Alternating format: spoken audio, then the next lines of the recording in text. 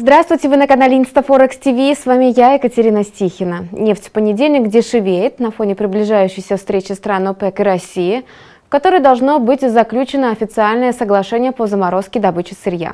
Опасения трейдеров за результативность саммита вполне объяснимо, так как предыдущие встречи стран-производителей нефти показали весьма печальный результат. Нефть марки Brent сегодня оторвалась от минимального уровня 46,5 долларов за баррель и торгуется по 47 долларов 38 центов.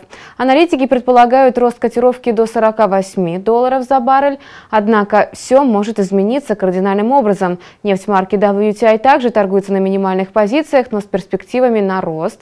Североамериканский эталон находится на отметке 46 долларов 18 центов за баррель. Давление на движение нефтяных котировок также послужило из-за еще одного факта, который только усугубляет настрой инвесторов. Так, на сегодня была запланирована встреча экспертов стран ОПЕК и не только, но была отменена из-за отказа принять в ней участие Саудовской Аравии. Это является неким сигналом к тому, что 30 ноября в Вене встреча стран-производителей нефти стоит под угрозой. Стоит отметить, что сегодня на предварительной встрече эксперты также надеялись, что склонят Россию не к заморозке добычи нефти, как этого она обещала на протяжении всего времени, а к сокращению. Теперь атмосфера еще больше накаляется.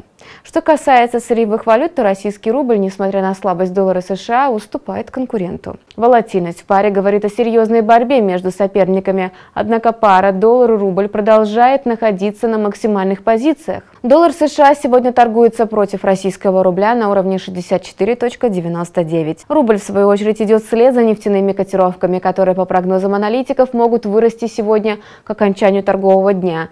Это может поспособствовать и росту рубля против господствующей мировой валюты. Торгуйте, зарабатывайте вместе с компанией Instaforex. Мы с вами увидимся уже завтра. До встречи.